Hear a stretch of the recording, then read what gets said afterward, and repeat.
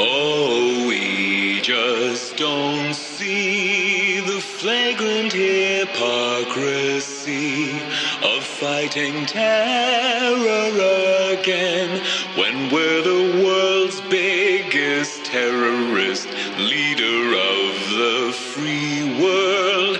It doesn't strike as absurd funding dictatorships once they're doing our bidding. Our war crimes make you cry from Abu Ghraib to My Lai.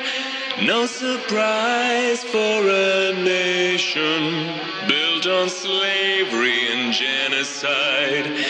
Human rights, international law.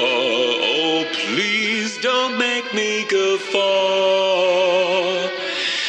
Preach restraint with a aplomb while they kill kids with a bomb.